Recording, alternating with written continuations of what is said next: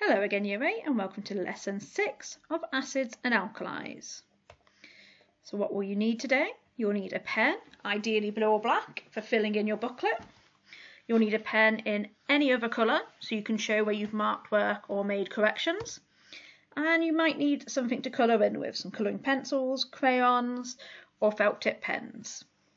Okay, if you need to get any of this, pause the video while you do that Oh, before that actually, you're also going to need some scissors and glue.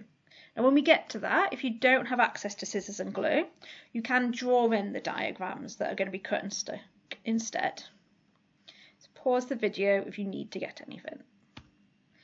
So today's lesson objectives.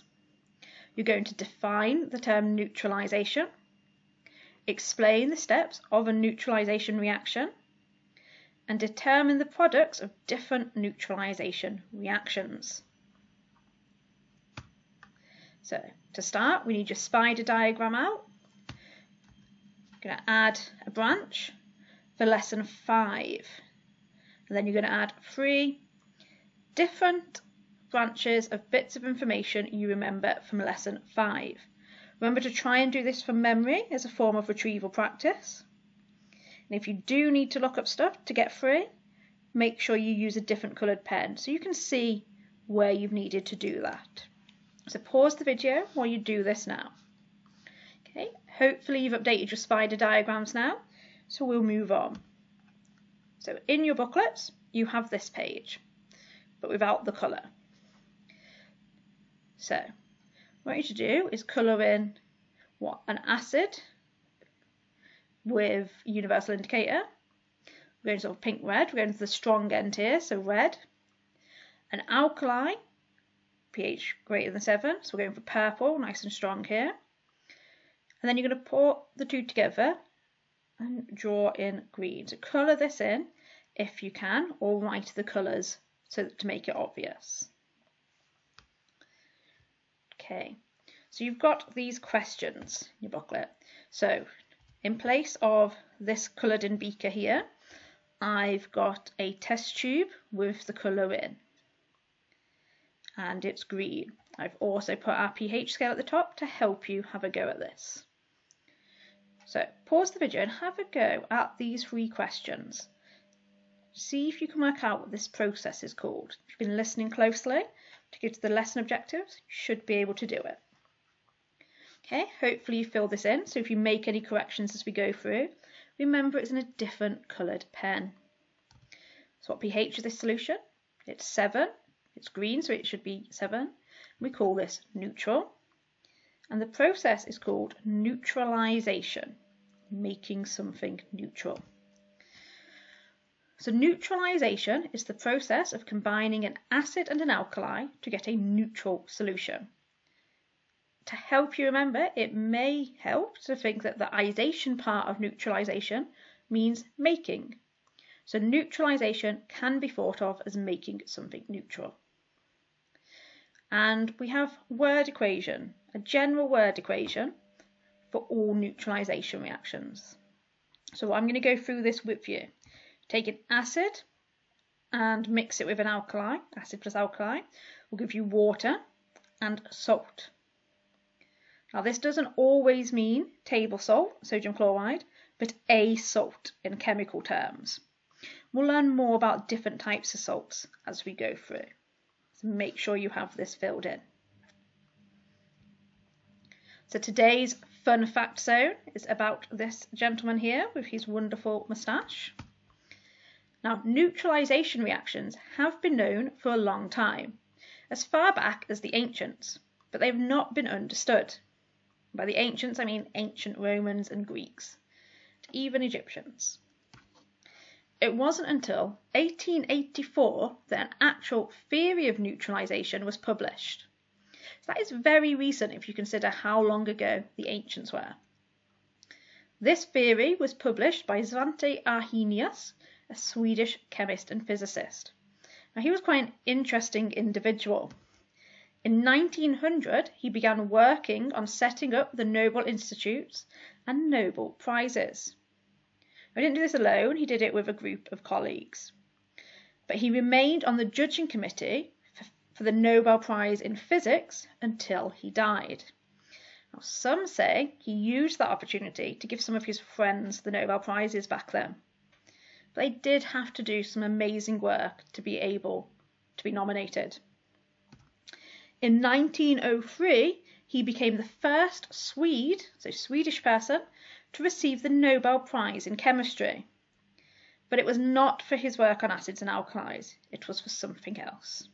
If you're interested, if you look it up on Google, it will tell you what it was for.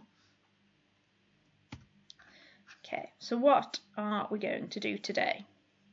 First, I'm going to show you an example of a neutralization reaction, and then we're going to go on to this bit. So here we've got acids and alkalis mixing. Neutral solution, alkali being poured in, acid being poured in. Stirred, we've had more alkali poured in, so it's gone blue. So if we add a bit more acid, Lots of mixing here. Still a bit blue, so we should add a bit more acid. Trying to get it to go back to green, neutral.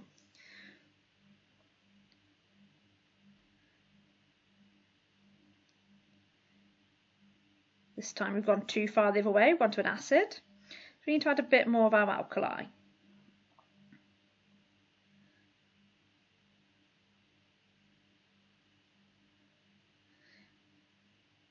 Again, this time we've gone too far towards alkali, so a bit more acid needs to be added.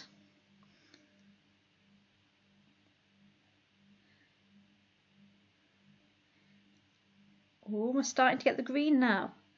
There we go. So when you get the right mix of acid and alkali, you can get the nice green. Oh, we've gone too far again into yellow. But you can see you almost had the green there. But mixing acids and alkalis you can change the strength of the acid or the alkali or turn it neutral. So that's just an example for you to see. Now what you're going to do is you are going to watch the video of a neutralization reaction and as you saw on my word equation before we also get a salt when we neutralize. So we're going to extract that salt. But if you remember, we had universal indicator to see if it's an acid, alkali or neutral. So we're going to need to remove that so that it doesn't taint our salt, doesn't contaminate our salt. So the experiment's going to involve that as well. So what you're going to do is at the back of your booklet, you've got this handout. You're going to cut out the different steps to stick in in your boxes. If you don't have scissors and glue, just draw them instead. As once you've stuck them in, you're going to fill in what's happening, so a method, and why. Explain what is happening at each step and make sure you fully label each diagram. Okay, so I'm going to pause this bit and get the video up. Pause it as you need to to fill in each step or you may want to watch it all through and then go back and pause and do it. Okay, so we're starting with some hydrochloric acid, which is being carefully measured out here. Remember, you would need to wear safety goggles with this because we're handling acids and alkalis.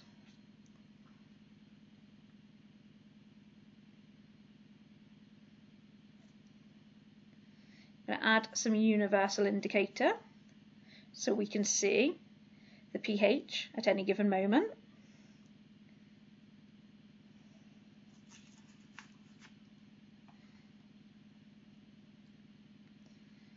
I'm going to slowly start adding sodium hydroxide. And every so often we're going to swirl it. Make sure it's mixing. It's very important. We can keep adding it in small amounts so that we don't overshoot.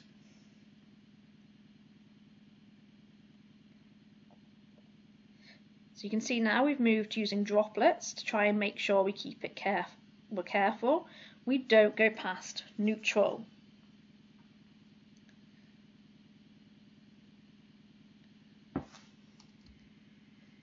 I've just skipped ahead a bit now because it does take quite a while. When you do get close, one drop can make all the difference, which see there, two drops, and we've gone there to neutral. It looks very dark here because a lot of universal indicator was added and of the lighting on the video, but it is green. So now we're going to add activated charcoal. What that will do is it will bind to the universal indicator and take it out of the solution. So we're removing the universal indicator. So by the time we're finished, we'll be looking to get a colourless liquid. We're going to heat the solution or mixture over a Bunsen burner.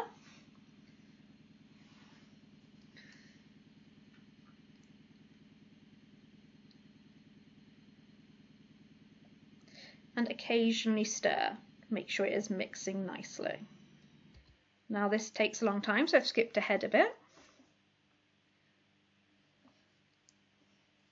Now you need to get it up to boiling. So that's where it's bubbling. But you don't want it to be uncontrolled because then it will boil over, make a mess, and pose a risk and hazard. So like this, this is not what you want.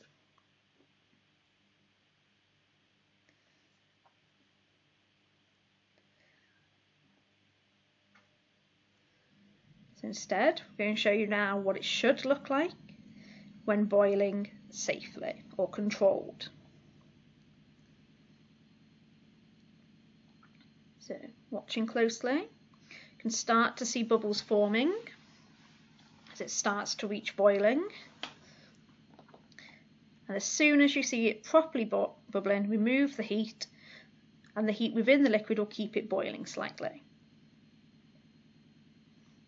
Give it a good stir. So you want to make sure everything's mixing so we get all the universal indicator.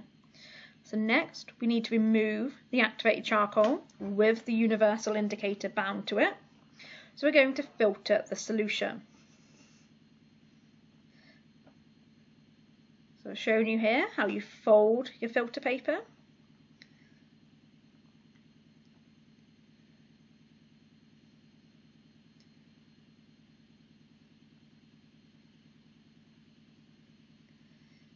And when you pour this, you're going to want to pour over the stirring rod to make sure that you get any liquid that's left on the stirring rod as well.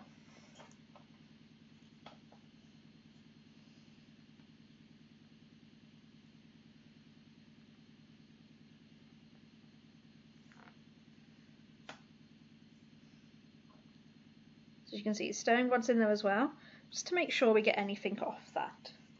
And when you're pouring the liquid, you want to be very careful that you don't take it over the top of the filter paper because then some of the charcoal might come through as well. So you can see we're getting a colourless liquid dripping down there.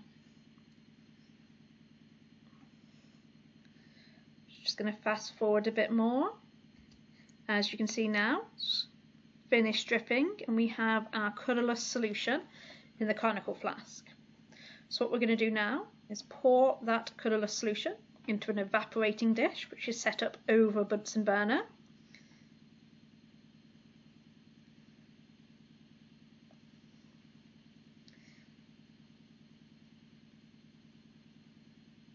And we're going to heat it until the water is boiling.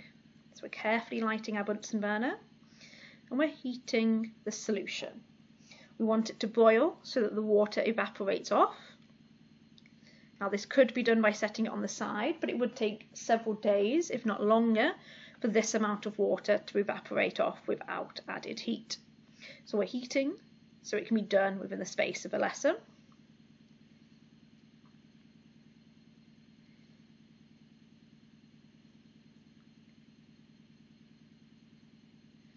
As you can see, it's starting to boil now. Again, you need to be careful that it doesn't boil over shouldn't do. We should be safe here, but it is something to keep in mind. So skip ahead a bit more. You can see a lot of the water's gone and you're starting to see some salt crystals form. So the rest of it boils away.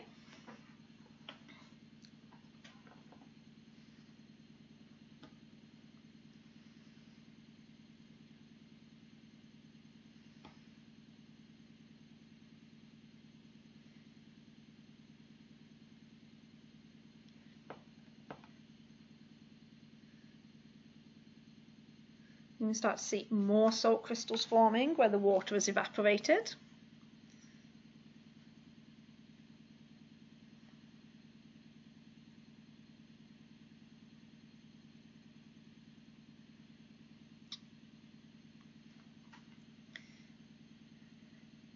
There's now very little water actually left in there, boiling off. A lot more salt crystals forming now. Now one way if you wanted larger salt crystals, what you could do is leave it until you have half the water left, then set it aside to evaporate the rest of the way. If you were to do this yourselves in this step, you'd need to be careful because as it's fully dries, some of the crystals might pop out. But as you can see here, you have lots of nice crystals of the salt, which have been extracted without the contamination of universal indicator. Okay, so now pause the video, go back and rewind if you need to, fill in all six stages using the cut and paste, describing what was done and what is explaining what is happening. Okay, so we've got the first one now. Hopefully you have all this stuck in. So you can see universal indicators being added to 10 centimetres cubed of hydrochloric acid. So my step was 10 centimetre cubed of hydrochloric acid is measured out accurately and added to a beaker. Universal indicator is added, which turns red because it has been added to an acid. Now, if you really wanted to, you could put a strong acid and the relevant pH. That would be an even better answer than what I've got.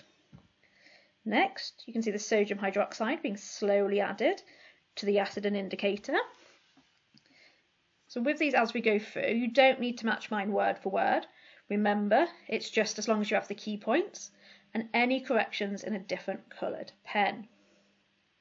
Sodium hydroxide is, add, is slowly added to the mixture of hydrochloric acid and universal indicator. Between additions of a few drops, the beaker is swirled to make sure it is mixing.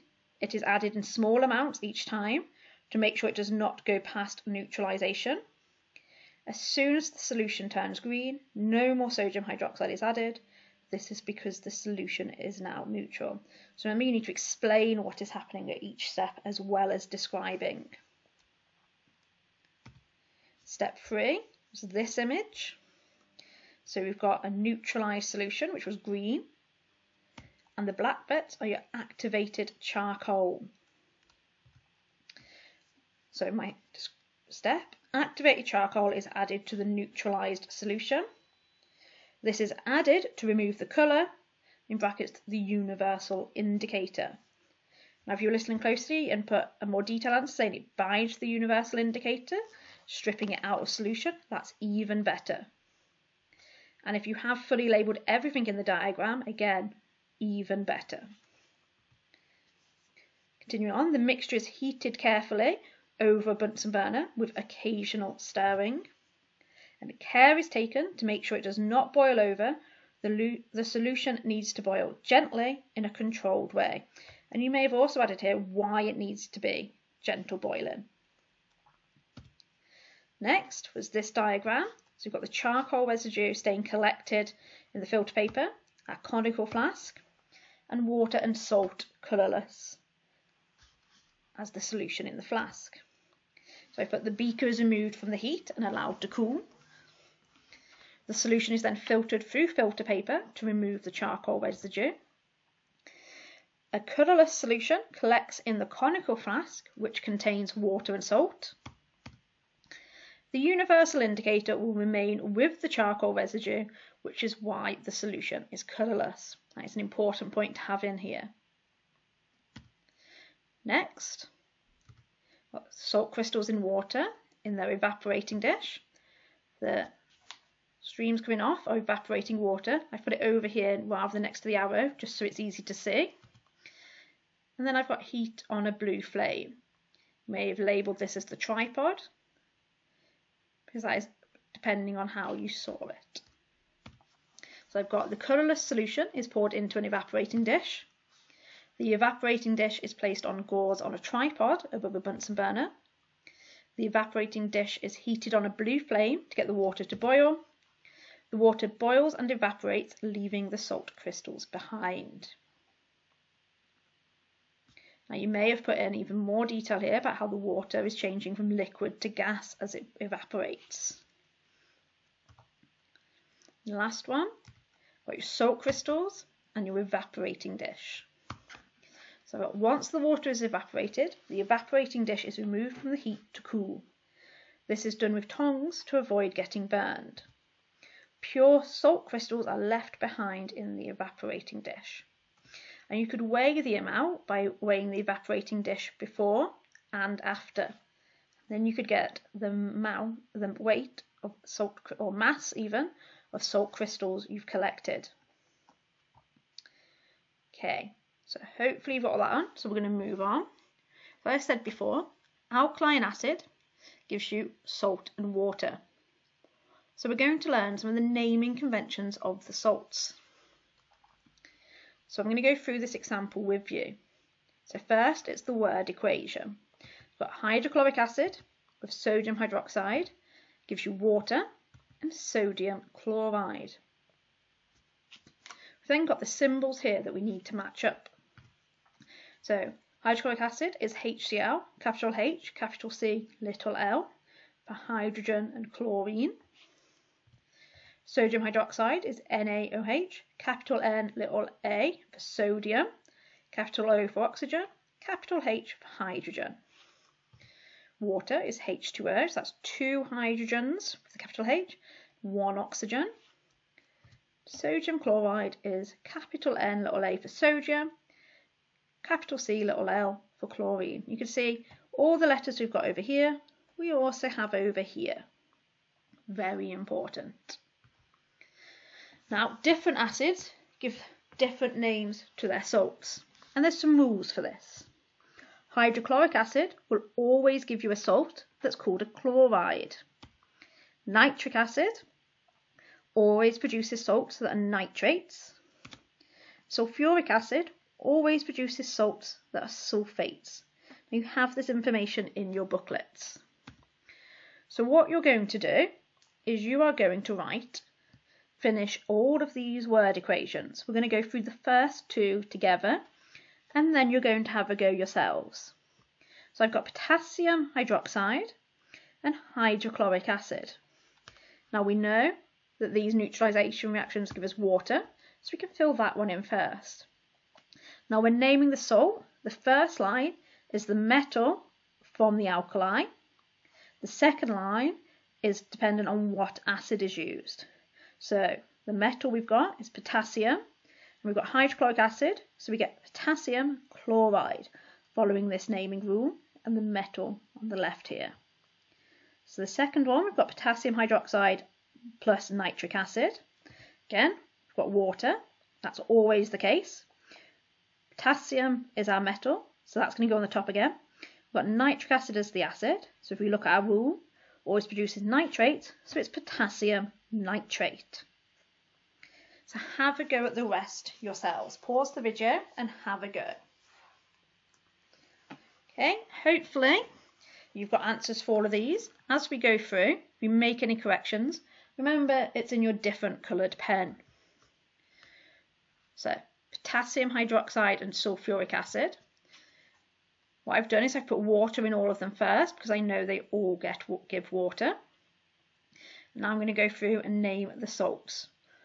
So we've got potassium, which will go on the front, on the top line. Sulfuric acid, my rule said it gives me sulfates, so it's potass potassium sulfate. Next one, this time we've got hydrochloric acid again, so we know we're going to get a chloride. But instead of potassium, we've got sodium. So it's sodium chloride. If you're keen-eyed, you'll have realised this was also on the page before. So we've got sodium here, nitric acid. Nitric acid gives me a nitrate, so it's sodium nitrate. Sodium hydroxide again, but sulfuric acid. Sulfuric acid gives me a sulfate, so it's sodium sulfate. Now this time we've not got a metal, but the same rule applies. It's the first part of the name on the alkali for the top line, so ammonium. And the second line is dictated by the acid. Hydrochloric acid, so it's a chloride. So we get ammonium chloride. Ammonium hydroxide again, so we're going to have ammonium on the top. Nitric acid, so it's a nitrate. Again, ammonium hydroxide, but sulfuric acid, so it's ammonium sulfate. Hopefully you got most of these correct. Remember, if you do have any questions, do just ask your teacher. Now, this week I need you to have a go at homework 4, acids and alkalis. You've got it as a crossword here. All the questions I've put on a quiz on your study zone. You can then write the answers in here on your crossword if you want, but the main place for the homework is on the study zone. And I'll show you what it looks like now. So it's homework four. Just remember mine always looks a bit different. So what you've got is you've got the questions or statements and a drop down box. So all you need to do, select the answer you think it is and then move on to the next one. Like before, at the bottom you have a check button. When you do that, it will tell you how many you've got correct and keep the correct answers in their place to give you a chance to fill in the rest. You get at least three tries of this. When you're finished, you hit finish attempt. My internet is being slow now. And then you submit all and finish when you are ready.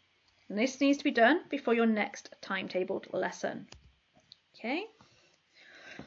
And before you finish this lesson, you need to do today's self-marking quiz, labelled Lesson 6 Plenary Quiz, which will be under this lesson, to show yourself and your teacher the progress you're making and make show that you have understood today's lesson. Remember to add any new keywords to the table at the front of your booklet. For example, neutralisation is quite an important word. So thank you for today, 8, and I will see you again for our next lesson.